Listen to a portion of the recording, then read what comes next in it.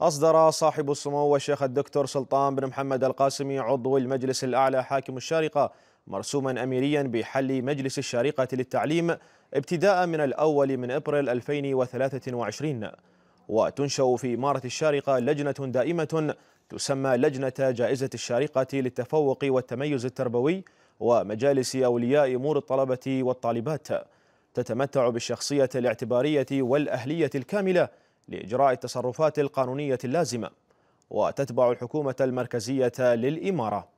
وتختص اللجنة بالإشراف الفني والإداري والمالي على جائزة الشارقة للتفوق والتميز التربوي ومجالس أولياء أمور الطلبة والطالبات في مدن ومناطق الشارقة.